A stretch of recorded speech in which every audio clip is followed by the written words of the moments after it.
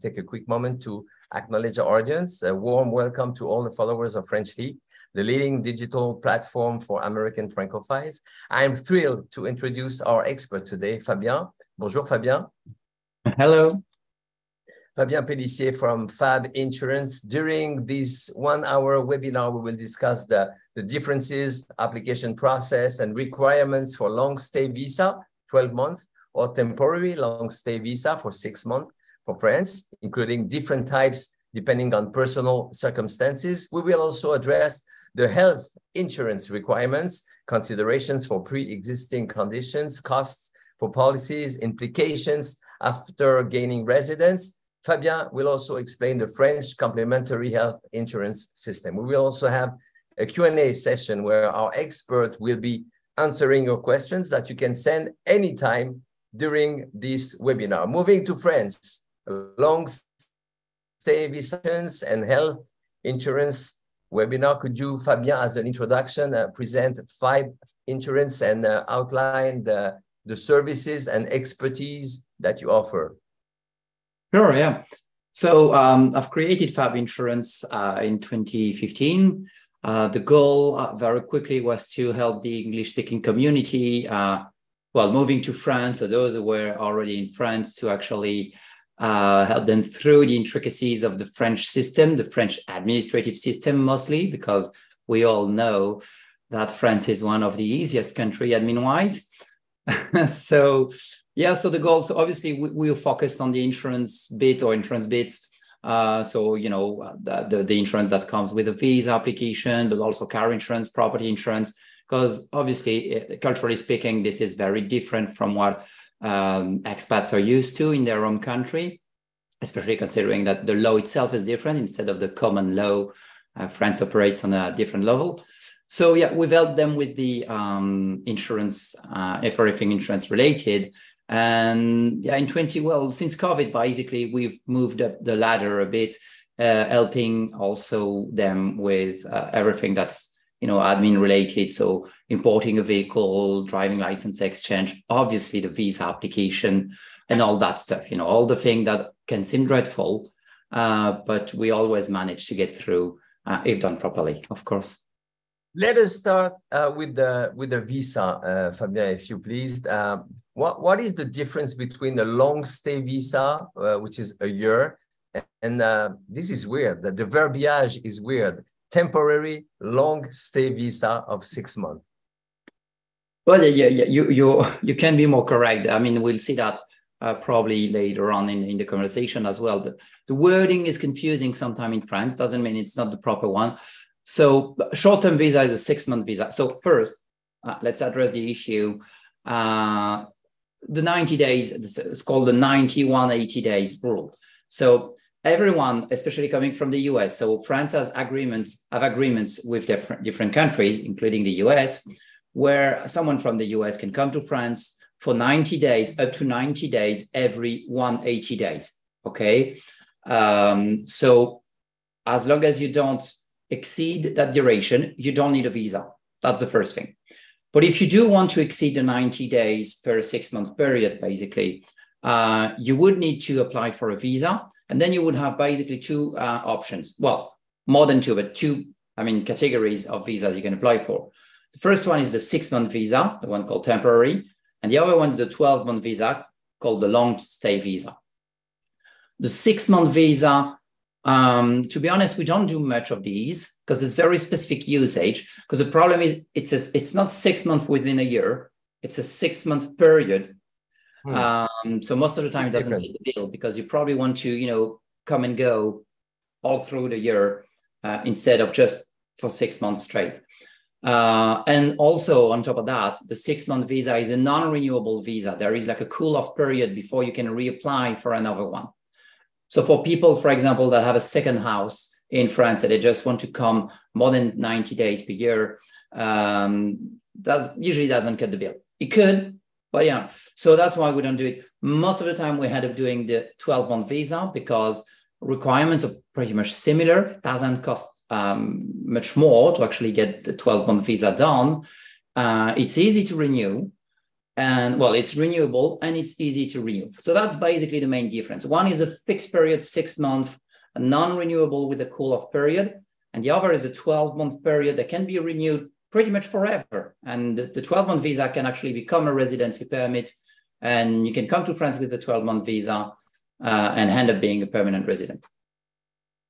The first point, you are strongly recommending uh, us uh, to go for the long stay visa, which is 12 months. So how does somebody go about applying for uh, such a visa? So good. Well, it depends on the situation. Sometimes a six-month visa may be um, a good choice. Uh, it's just that for sake of convenience, we very often end up advising the 12-month visa. So just to address that. But yeah, so well, France has done quite a lot of progress, digitally speaking. So the application is now done online or can be done online on a website called francevisa.gov.fr, basically the official governmental website. Um, and everything can be de- dealt with online. This is very cool uh, from a French perspective. You know, we're no longer chopping down trees and printing tons of paperwork.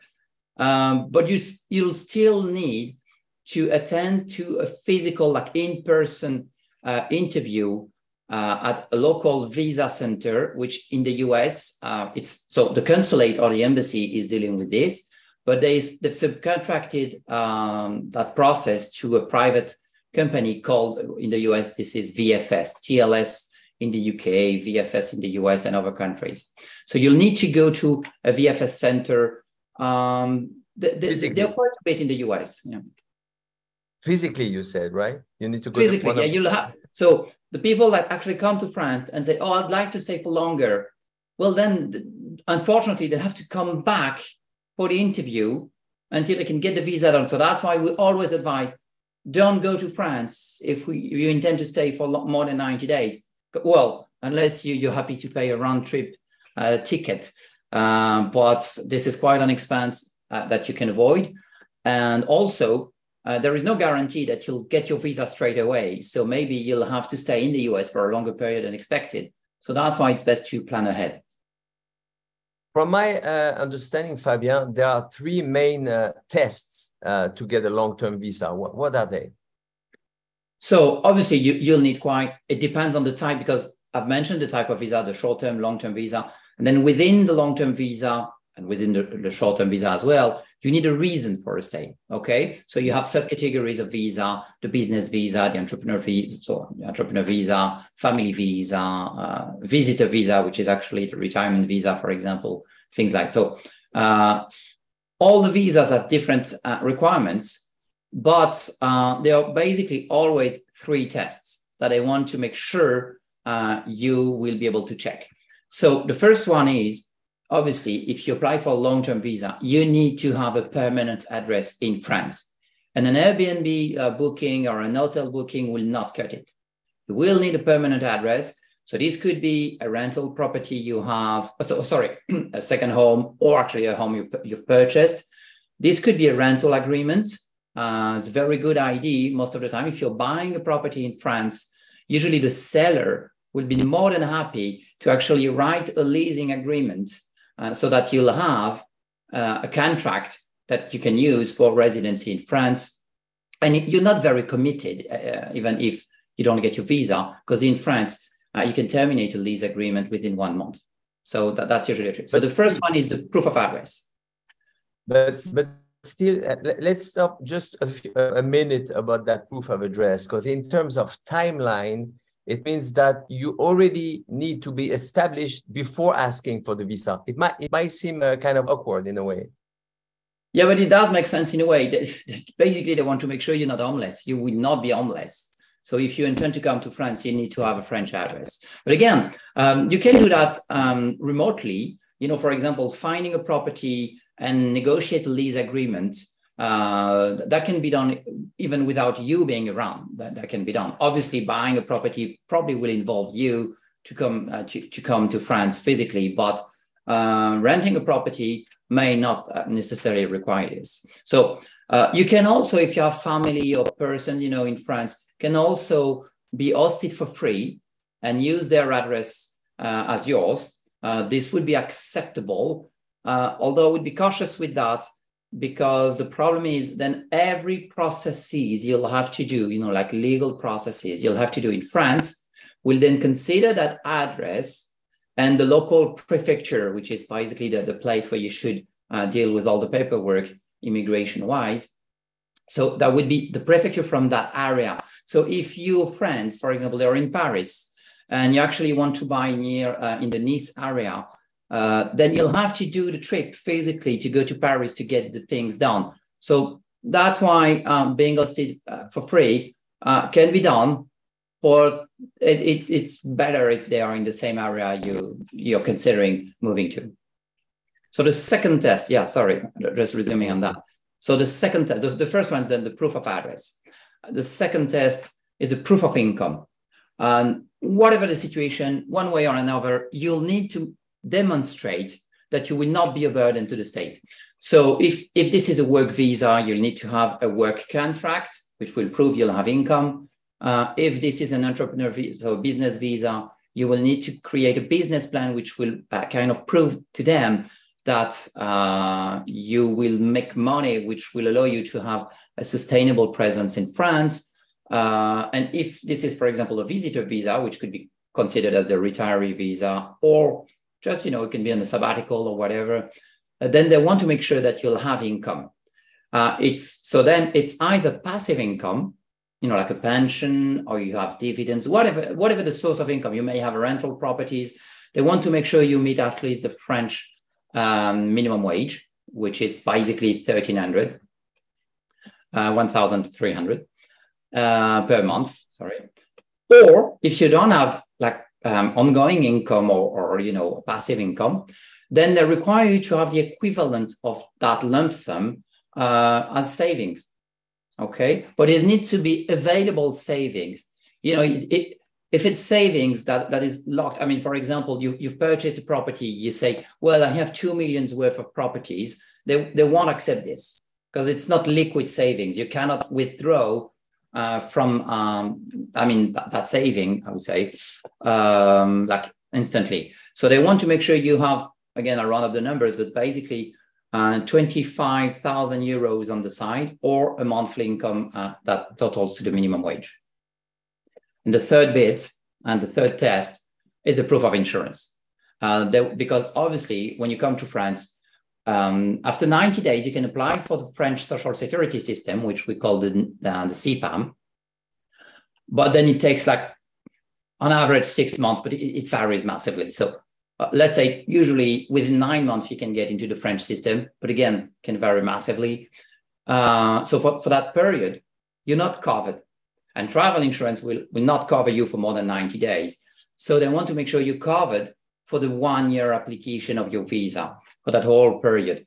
Um, then that's why when you renew, it's much easier because then you'll be probably part of the French system. So everything will be uh, much easier to secure, the policies will be cheaper. But that's why you need something that's basically kind of the equivalent of the French social security system until you're part of the French social security system. So here are the three tests, proof of address, proof of income, proof of insurance. If you meet these three tests, it's highly likely that the visa uh, will be successful. So if you meet these three tests, Fabien, um, you have to consider what is the long stay visa available for your own uh, situation, basically. There are different ones. How do I know which one is the right one for me? Well, and obviously it depends on, on uh, each individual's situation. Um, some are obvious when, when you are moving to work to France, you have an employment contract. This will be a work visa. This one's obvious. If you're setting up a business in France, this could be a business visa, although uh, this is one of the most uh, complex visas. So I like to, you know, assess the situation, see if there aren't other options available. Uh, the most popular one is the visitor visa because the requirements are very, very low uh, it's very simple to me. The, the, three things I've mentioned, if you can meet these three requirements, these three tests, visitor visa is by far and large the easiest to secure. Um, but then there is a talent visa if you are the son of Elton John or I don't know, you know, uh, if you have something that you can bring to France that has value, or if you're, if you're the spouse of someone that's coming to France You know, for example, uh, you you are an engineer, a nuclear engineer, you're coming to France and, and you're the spouse of that person, then you'll be able to get a talent visa, things like that. So obviously this needs to be decided uh, based on the situation. But the, the three more popular plans, uh, family visa, if you have a relative in the EU or in France, uh, the visitor visa is the most uh, popular one. And the business visa is very popular as well, but very tricky. This is the only one where you can see rejections on a regular basis because it needs to be done properly to make sure uh, you won't be denied. Because with the business visa, they're very careful because obviously you're like, yeah, you can create a business plan saying, oh, I'll be bigger than Facebook in one year's time.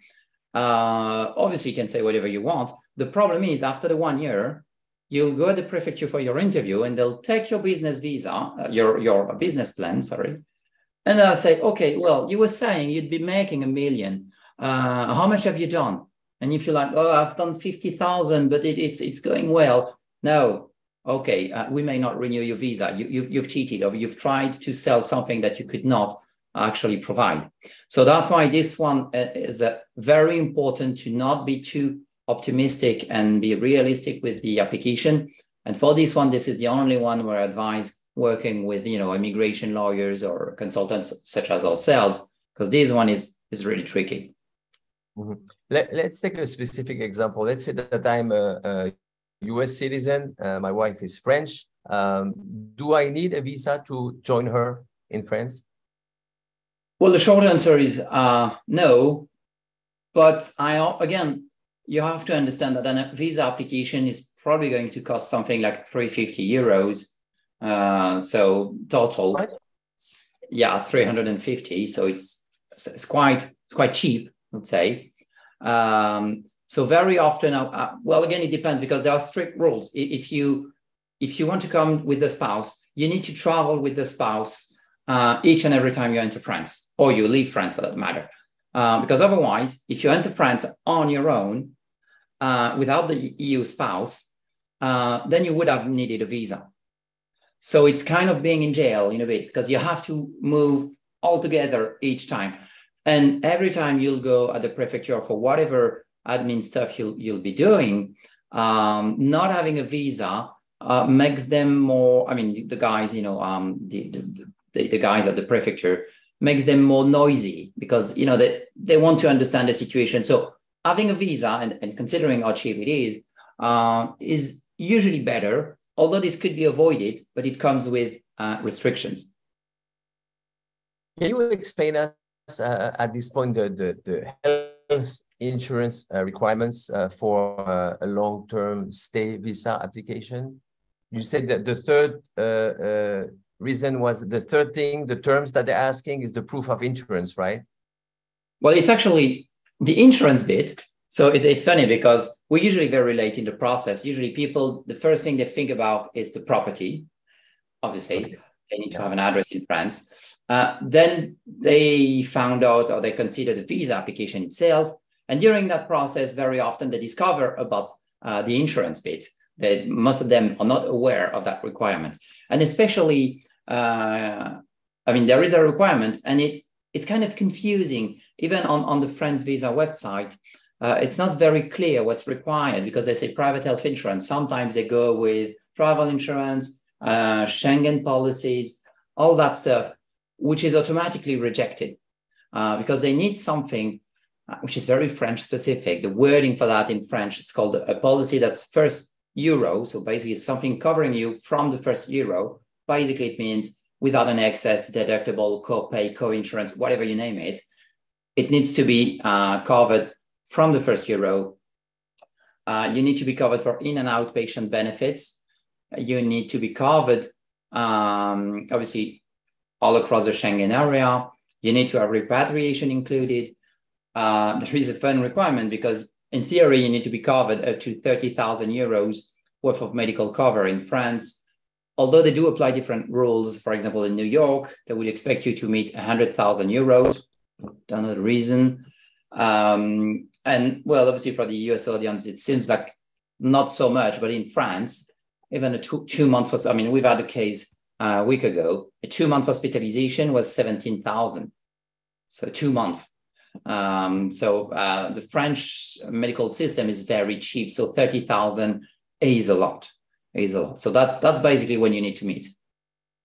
And um, what, what if uh, a person has a pre-existing uh, medical condition? Will that affect tremendously the insurance policy? So this is when it gets interesting because in theory, uh, the French government expects them to be insured uh, in full without any medical exclusion, without anything. So everything should be covered.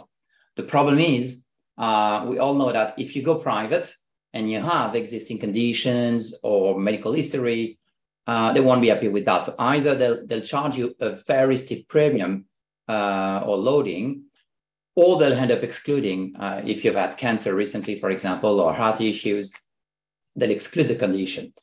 So, uh, so that being said, this is always possible of kind of meet the requirements, but you'd probably be looking at a 20,000 euros premium per annum or something like that. So it's very, very, again, even if you have to pay out of pocket in France, you'll never reach that kind of premium. Uh, well, that kind of uh, expense anyway.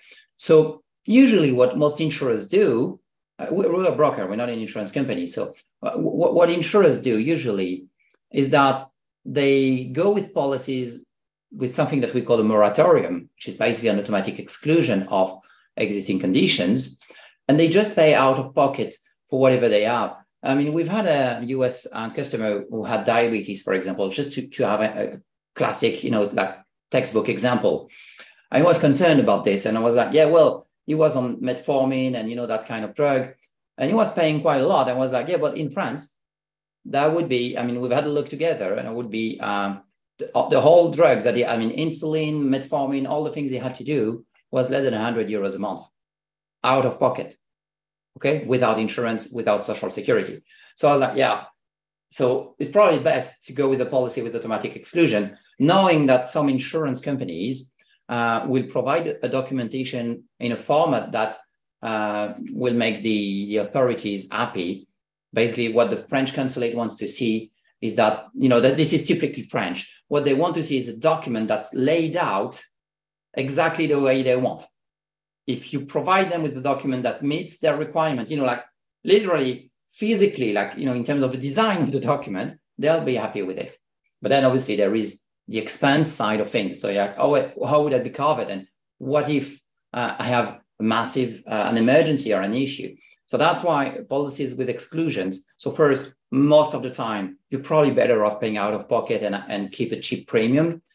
And if you really have something that's really bad, and uh, for example, that you know that would be cheaper uh, in the US, uh, which I doubt because French is, is really cheap in comparison. But even if you the policy will include a repatriation clause, which is mandatory as well. So you'd be repatriated to your home country and can be treated there.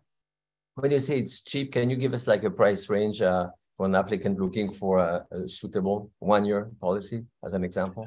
Um, oh yeah, well, well, obviously it depends. That this is, but someone in his late fifties uh, is probably going to be two thousand euros per annum uh, per person, obviously. Sorry, I'm sorry, I laughed because I was, uh, you know, I've been in the US for like 17 years.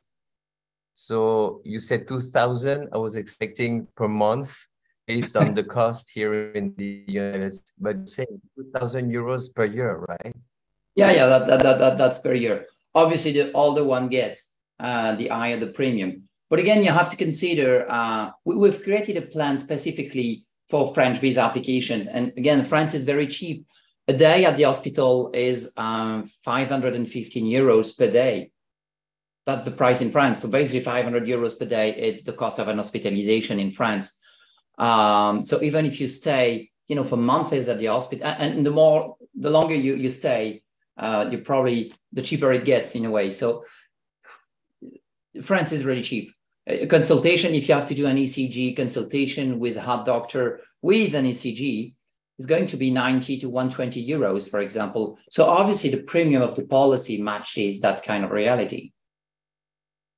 Can you, uh, Fabien, guarantee that, that the policy will, will be accepted? Yeah, so, well, yes and no. I can guarantee that we do offer 100% money back in, in, in the unlikely, hopefully, uh, situation where the visa is denied. Uh, but the, uh, you have to understand that at the end of the day, uh, the visa is a political tool. Uh, well, you, we've seen this, or we're seeing, seeing this with Russia, for example. They've shut down the visa applications from Russia for obvious reasons. Uh, so we never, we can never say, never know what will happen tomorrow, uh, and therefore there is no guarantee that a visa will be accepted, especially if it's um, a business visa, because this one is, is, even trickier. But that's why, um, for example, for the, the visa admin stuff itself, we always reapply for free in case of a denial. And for the insurance bit, we offer 100% money back guarantee in the uh, in the event of a rejection. We've never had a rejection. We've never had an issue with the visa since mid 2021, basically since Brexit, because Brexit changed the rules a bit, even for the US citizens. But now that the rules are steady, and since mid 2021, we've had a 100% acceptance rate. But yeah, uh, we, we cannot say for sure, but we'll refund. I mean, if anything happens in the future, we'll refund it as well. So once I'm a resident in France, um, can I get into the French healthcare system? And does that mean that I will no longer need my insurance? Uh, in that case, can I just take out insurance just for the first three months?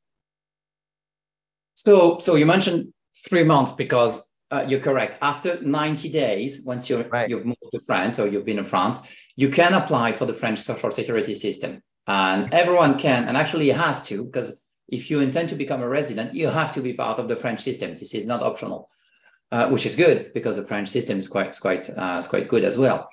Um, so you again, you probably will be into the system within, but by the end of the year, uh, before the visa expires, which will make the renewal easy because uh, you can use the French system plus top-up health insurance instead of a private medical policy, which is even cheaper then.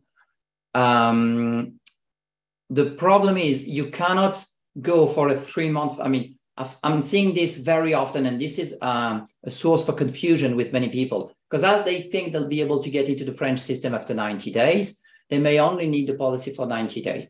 So uh, this cannot be further away from the reality for many reasons. The first one is you can apply after 90 days. You're not into the system after 90 days, so you're not covered. So it's probably much more than 90 days you're looking at. That's the first thing. The second thing is it doesn't change the visa requirement. The guys at the visa center, they'll want, they'll want to see that you're covered for one year. Because again, there, there are no guarantees that you'll actually manage to get into the French system within that first year. So if it takes three months for you to get into the system, good for you. You would have paid for one year, but you, you, you also uh, be granted access earlier, so you're good.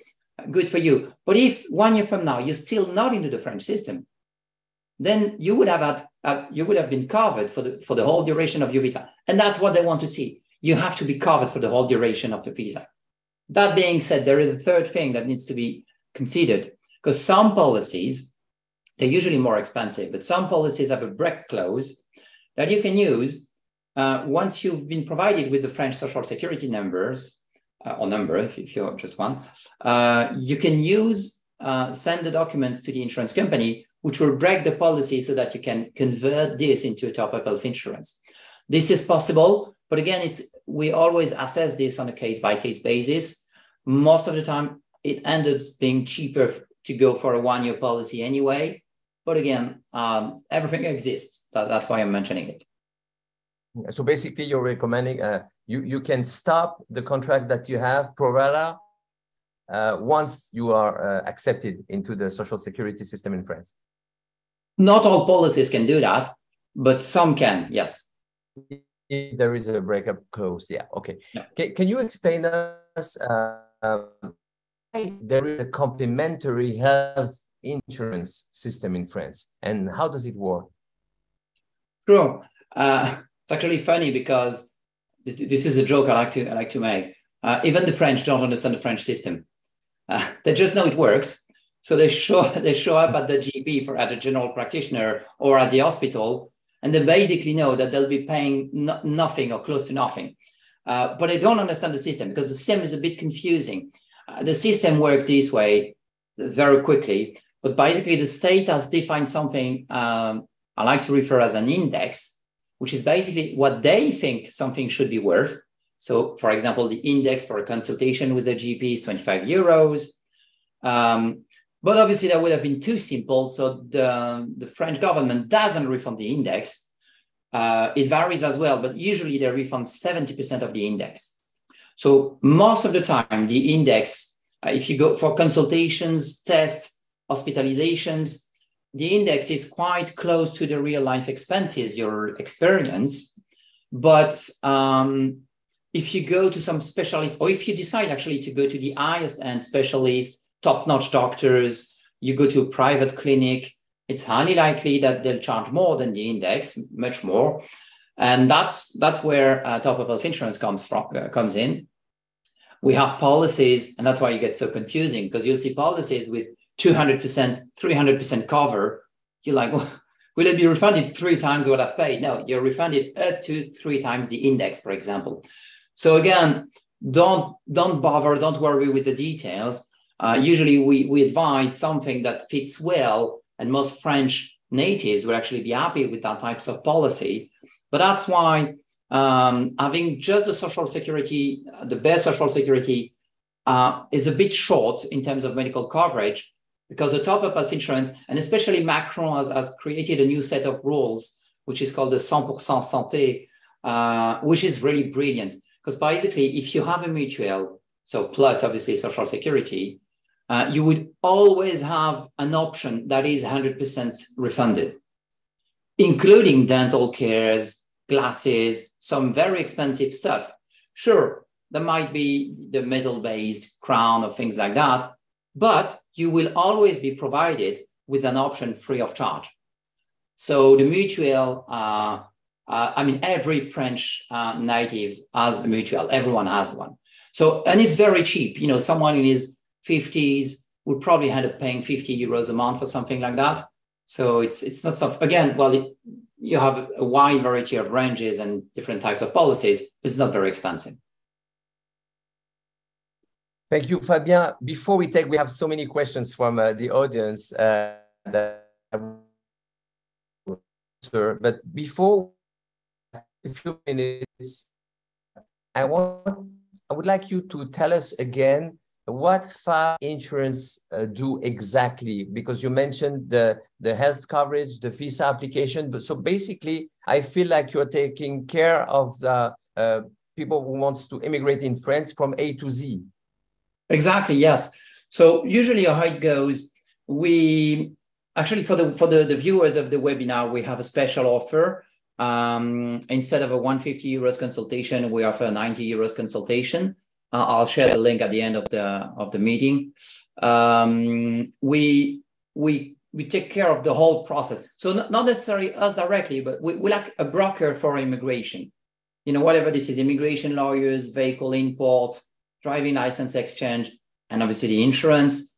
But so this way, uh, we take care of everything, and we we make things as simple as Frenchly possible, basically. Oh, so let's go to the Q&A if you please. Uh, Christy is the first one who asked the, the question, does 401k funds count as proof of income or does it need to be cash in a savings account? Um, unfortunately, you need to have this in a savings account. Yes. So you have to draw down basically, uh, well, 25,000 euros from the 401k plan uh, so that they'll consider it.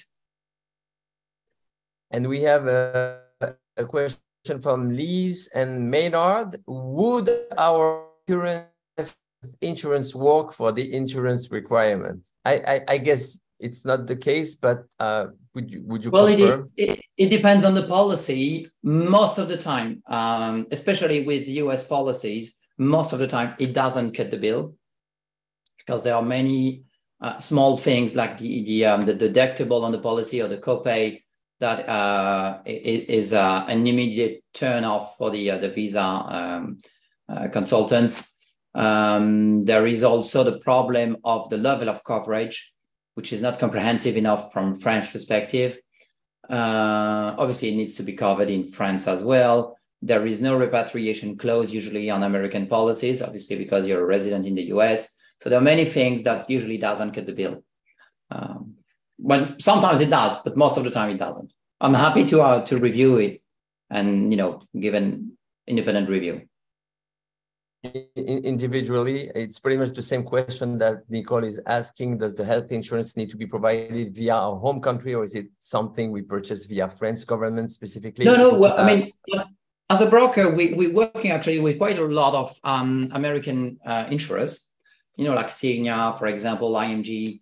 Um, the problem is in France, because we're working in different countries as well, but in France, um, they, they're very expensive from a French perspective.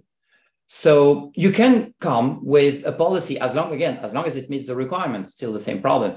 But you can come to France uh, with, a, with a US policy. Uh, it definitely works. Uh, but it's highly likely that it's going to be super expensive compared to what you may have had uh, if you were to purchase this in France, for example. Mm-hmm. Uh, question, can I apply for permanent residence or citizenship in the future? If yes, what are the criteria and uh, how long does it take? Well, the short answer is yes. You cannot immediately, usually, again, usually, because the process varies depending on your file, how committed they see you are into your French residency. But basically, you, this is how it goes. Again, theoretical framework, it can vary. But just to give you an example, so the first year you have a visa, it's then renewed for one year and usually then uh, renewed, extended for three years. And then you have the permanent 10 years uh, carte de séjour residency permit. And you can renew that residency permit every 10 years. There is actually no need for, to, to actually apply for French citizenship. After 10 years, you can apply for citizenship, but uh, there is no real requirement for this. Um, it's not mandatory um, you can actually renew the 10 years visa or the 10 years uh, residency permit pretty much forever. Uh, so that's usually what our customers end up doing because it's much easier. Uh, but it is possible. But if you apply for French citizenship, you'll have uh, you'll have to go through tests, you know, language tests, uh, French history tests, and things like that, which you won't have to do if you just renew your residency permits. We have a question from Hélène. We have, uh, she said, a free health insurance that meets the, the French requirements as a retirement benefit. So we have not gone to the French system. If we get carte vitale, uh, which is the social security in France, will we have to pay social taxes to France? Well, it depends where the money is coming from. Um, there are two things to be, well, it's not directly in relation to the question, but it's important to understand that as a US citizen, one of the trickiest things you'll experience probably opening up a bank account in France, because the US uh, requires that French banks sends a copy uh, of your bank statement basically each year to the US for tax purposes. It's the only country that does that. So that for that reason, many uh, banks in France do not accept a US citizen. So I'm saying this because uh, you'll see where I'm going. Uh, then it depends on where the money is coming from. Uh, if it's money from a pension, then you'll pay the taxes in France, indeed, but not social taxes. You'll just pay the taxes, you know, national taxes. It's just because you're a French citizen and now you pay French taxes. If the money is coming from a business that you have in France and in France, not abroad, uh, then you'll pay social taxes on that business as well. If you are employed in France, you'll pay social taxes on your payslip uh, in France as well. So that's why I was saying it depends where the money is coming from. If you have money from savings and you have like dividends and you want to draw down on the on the dividends that are on whatever accounts, then the, the law in France says that you'll have to pay social taxes on this. But so basically you'll have to do the same as any other French citizen would have to do. So for example, if I withdraw money from uh, um, my savings where I have stocks, and withdraw the dividends, I'll pay social taxes on this. So you would not pay more. Uh, a US citizen would not pay more, but they would have to pay. So yeah. Hopefully it answers question the question. From a very specific question from uh, Nikhil uh, Gopal, and, and I invite uh, our audience for very, very specific questions to uh, uh, schedule uh, an appointment with you, Fabien, to go much deeper in, in the answer. I know that uh, during this webinar, you are giving general answers to specific cases also in this Q&A, but to go much deeper, I think it's uh, it much it's much better to schedule a a, a moment with you. Uh, Nicole is saying, "Hello, I'm planning on moving to France shortly on a passport talent visa." He noticed that one might be eligible for expedited naturalization in two years under specific circumstances. Could you provide more cl clarification on what uh, is so-called uh, exceptional integration? So that, that yeah, sure. That, that's why I was saying there are the theoretical rules, and this is very French. Basically, what they do, whatever you want to do, uh, the French administration will assess your file based on, again, how committed. I'll give examples. Uh, in theory, you cannot apply for uh, being a French citizen uh, until, sorry, uh, yeah, let's say 10 years, until after the fifth year, so until six years, okay? Uh, but in real life, if you've done something, for example, again, just examples, uh, you've converted, I mean, from the first year, you've converted your license, uh, the US license to a French one. You, you have set up a business in France. You, you, you, your kids are at school in France. You've taken French classes. You know, you've built up a file where they can see you, you, you've tried your best to become as French as possible. Uh, again, this could change nothing, or they might say, well, okay, that guy is legit, and they'll actually provide you with better conditions. So it's not a direct answer, again, and it needs to be properly assessed, but it's just to say that this is how it goes. There is a theoretical framework, and then based on an individual basis, what the guy has been doing, uh, obviously based on the type of passport or visa. I'm saying uh, just for the, the wording, they say the passport thing because actually what they do when you go at the physical interview at the visa center, they'll actually take your passport away from you and you probably won't see it back for like a couple of weeks. It's important to know because actually the visa is part of the passport. They stamp your passport somewhere and that's the visa. Okay. So your visa is actually in the passport. So that's why it says passport visa. Okay. So it's just for, to avoid wording confusion but yeah, that, that's why I'm saying uh, basically the more you do, the more committed you are to the French relocation, the, the faster things go. And something I didn't say, and the cheaper things will be as well. Because when you first come to France, we, we've spoken about the visa, but for example, car insurance. So we can convert uh, the US insurance history. Obviously, the French system works very differently. But at first, you probably end up with policies. You know, very few companies will be able to accept a US citizen. But then after three years, you're basically French because in France, we only look at the past three years worth of insurance history. So then you have access to a wider range of policies. So the more time goes, the easier it gets and the cheaper it gets as well. So doesn't really answer the question. As I said, we'll need to go deeper. But this is to understand that, yes, this is probably possible, although you have to meet specific uh, circumstances. Uh, another visa related questions. What are the penalties if I overstay my visa? And also can my visa status be changed while I'm in France? So there are actually no penalties. Uh, it's just that if you are still in France while uh, with an expired visa, in theory, you are what we would call an OQTF. It's basically uh, you should leave French territory. And if you are to go to the visa center again or to a prefecture or whatever, you you have for a, a very hard time because they won't be happy with this. So th- there is no really like there isn't fine as per se, but they won't be happy with this, and this could actually jeopardize um, the whole process, the whole thing you've made.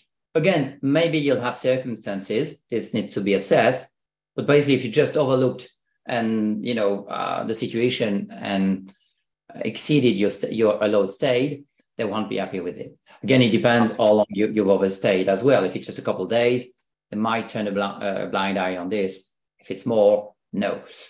Uh, in regard to the second part of the question, what was that? Sorry. The what are the penalties first, and can the visa be changed uh, while I'm yeah. Oh yeah, oh definitely. And actually, we do that very often uh, because again, the, the first visa is the hardest to secure so it's very, very common that we apply for a visitor visa at first and end up doing uh, a business visa during that first year. And so we renew this into a business visa or another type of visa. Maybe they found a job, so now it's, it's a work visa. So it's very common, doesn't impact anything. It needs to be taken care of properly, but it's completely doable. We have about uh, a little bit more than 10 minutes left, and I have so many questions, Fabien. We're going to try to address uh, as many as we can. Otherwise, I uh, encourage the people who won't get an answer to uh, schedule a, a, meeting with you. Marcia is asking Can I run an online hobby business in France as a retiree on a visitor business, a visa, on a visitor visa? Retire in retirement with a so, visitor visa and uh, doing uh, some business on the side. So yeah, well, uh, this is very common, and again, this is the kind of situation where we are like on the edge. So I would say it depends. What you should be doing is that if you apply for a visitor visa, you're not supposed to be working. Uh, so for the first 90 days, I would least suggest you don't do anything so that you're compliant with the requirements. And then you can start your, your side hustle, I could say. Um, and then like before the visa renewal, usually on the 10th month, because that, that's when you should be renewing your visa, 10 month in, then we reassess the situation and say, well, okay, how does it go? I mean, if, if you've made very little, it's probably not worth uh, mentioning. Uh, if you've made significant money, then we can switch to a business visa. Uh, but again, it's important to understand how much the person is already making, because if he's a retiree, he probably already has income as well which then will be part of the, the, the, the business plan. So it is possible, uh, although I would still start with the visitor visa because it's it's easier to, to, to secure. And then eventually we may switch to a business visa uh, later on if actually the business was successful. Small thing to be noted here, very important.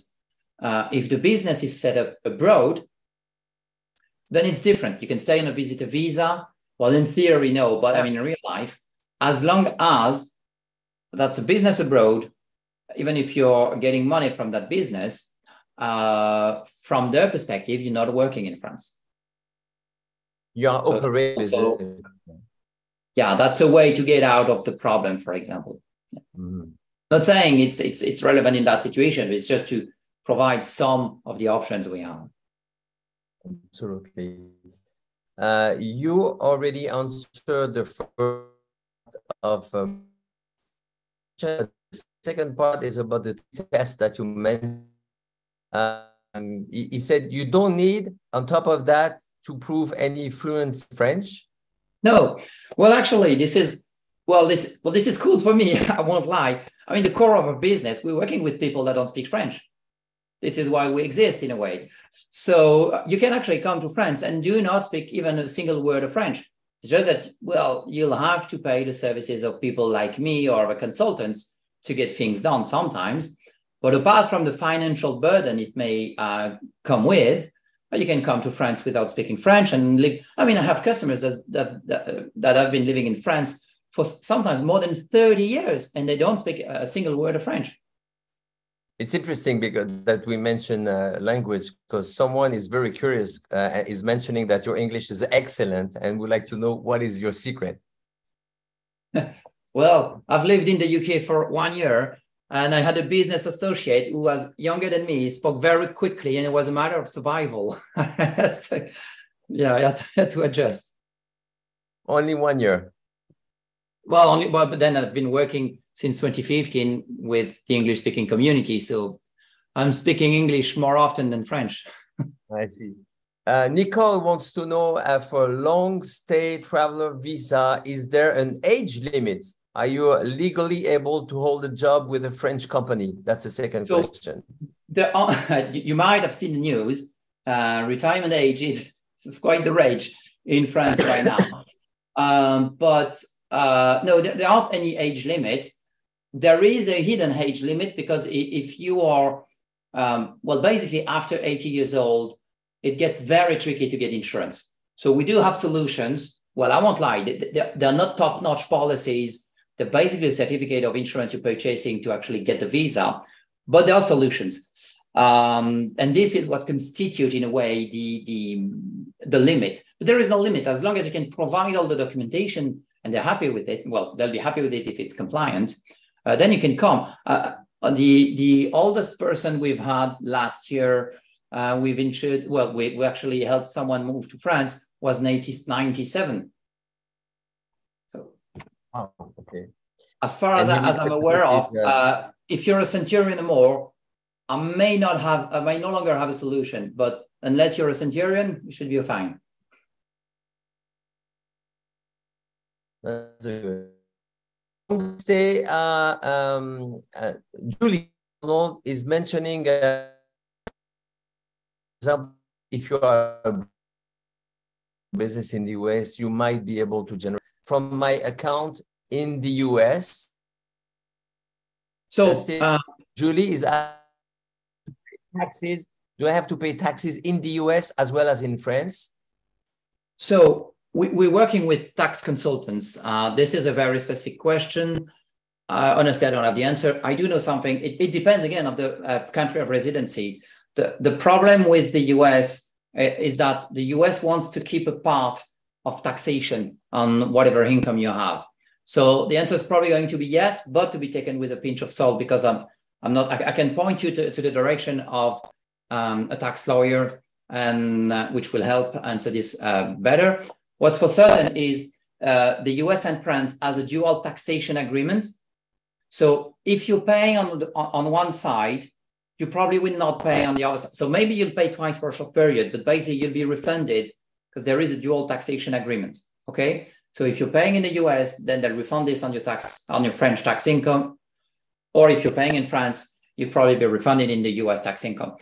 I don't know about the specifics because this is not my line of work as per se, but I do know about that agreement, which doesn't answer the question directly, but does answer the fact that dual taxation is, in theory, not possible between France and the US simply because of the uh, dual taxation agreement.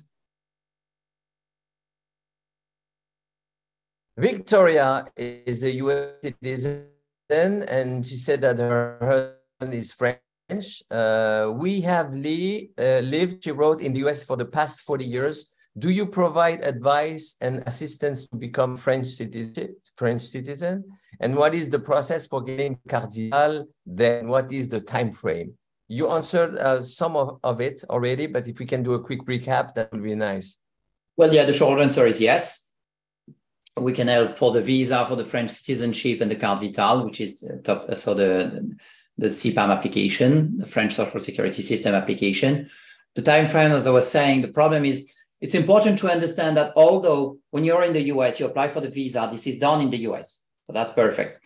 But when you're in France, uh, each, um, I would say, shire doesn't, you know, state, we don't really have state. So that's why I'm trying to find an equivalent. But basically, we call that departments in France. Uh, so each department uh, has a prefecture, which is where the admin stuff happens uh, in the department. And each prefecture operates very differently from one another. The rules are the same, but some are very efficient, some are very slow, and sometimes they're very busy, busy, sometimes they're not. So the problem is the time frame. I mean, carte vitale, and for real, I've seen, well, I've seen three months. Uh, it's very, very rare, but I've seen three months. Uh, the average is more like six to nine months. But I've seen people two years in still not having a carte vitale. So the time frame is difficult because it depends on the prefecture and how well your file is built. The average time frame with our customers is more like six to nine months. Nine months probably going to cut it. Yeah. I'm saying nine months because it's important. Again, you have to renew or apply for residency before the 10th, or actually during the 10th month. So, you, well, the overwhelming majority of the clients we're working with, they have the carte vitale, well, the social security numbers, because usually the carte vitale comes uh, one month after. Usually they have temporary numbers and then the carte vitale. Uh, but usually they, they receive it um, between the eighth and the ninth month. Yeah. But again, to be taken with buckets of salt in this case. It depends on the prefecture. The last few questions, but the rule now is you have 60 seconds to answer, no more, max. Uh, question from Tim. Earlier, you mentioned that family spouse visa holders cannot exit or come back to France easily without their partner. Does this apply if I choose to leave for a weekend to see friends in the UK? Or are there other particular situations during which this applies? So yeah, that's why I was saying um, it's important. I mean, even if you can avoid it, uh, you're kind of in jail, so you probably will still want to consider uh, applying for a visa so that you're not stuck. The only thing you can do without the spouse uh, is to travel within the Schengen area. If you leave the Schengen area, which is the case of the UK, then you'll need a visa to come back, or you need to be with your wife. If you leave to the UK alone and come back on your own without a visa, they won't let you in. Question from Mark. If living in France uh, under a long-term visa or permanent visa, the income is based only upon their pension and investments, would that income be taxed by both the US governments? So yeah, as I was saying, um, you'll be taxed in France, but then it gets specific. They have uh, reciprocal agreements and dual taxation agreements, which provide prevents um, one from being taxed twice. So I don't know about the details, who will tax what, and where will some. Actually, France is not that bad tax-wise. You know, the, the, the, the bad rep we have in France is, is mostly because of the social taxes. When it comes to national taxes, uh, it's not that bad, uh, all considered. Um, so you'd probably be, be fine. Again, it, then we need to assess the situation to see exactly, but you will not be paying twice. If I get a one year long stay tourist visa, can I change halfway through the year to work to a work visa if I get a job? Yes, yes, you can.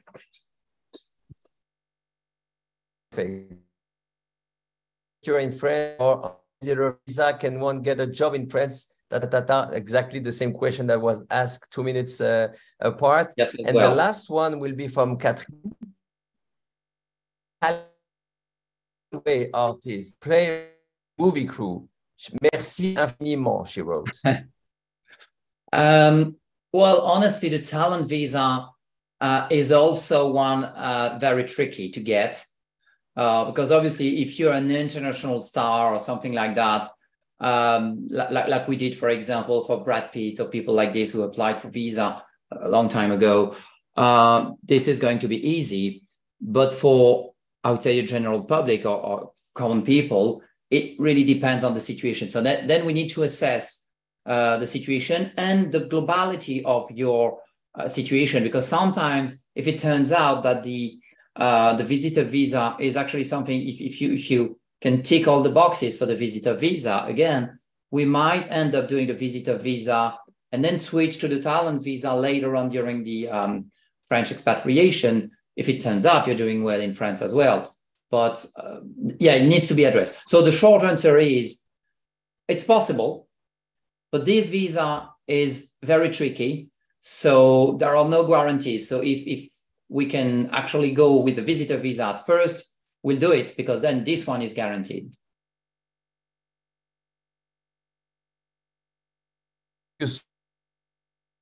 The, uh, the QR code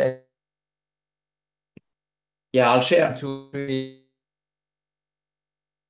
this uh, to make thank you. It's important to make sure that uh, you are in the right hands and get the right expertise. We like to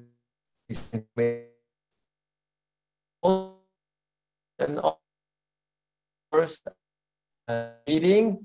Uh, how long will that offer last? Is and uh, on uh, immigrating to France, or is it once you are ready to make the move? Um, you're cutting off a bit, so I'll, try to answer what I've heard. But uh, yeah, so I've shared the QR code uh, with the link. I think we'll send an email afterwards so that you, will have the link as well. But basically, we, we, ha we have the offer for the consultation. Uh, the consultation can be made pretty much whenever you'd like, uh, even if the project in two, in two years' time, uh, you can you can book a consultation. I'll explain everything. You'll have all the information you need. If you're ready to do the move or very close to it, I can even provide you with quotes from the partners we're working with. Again, we're like a broker. We'll compare people like immigration consultants, lawyer. We, will will uh, guide you to the, the, the one that's the most relevant in your situation. Obviously, we'll also share some quotes for the insurance you'll need.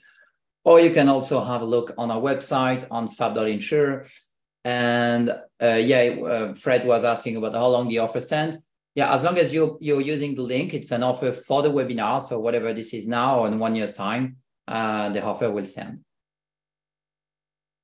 Thank you very much. Uh, once again, uh, we received questions about people at the beginning of the webinar uh, asking if they had to take notes during the webinar. There will be a replay. Of course, there will be a replay and uh, you're going to get all the information in the coming days on frenchly.us. If you don't receive our newsletter yet, we strongly uh, recommend you to register. It's free at the frenchly.us. And once again, Thank you very much, Fabien, for your time and for your expertise. Thank you for having me.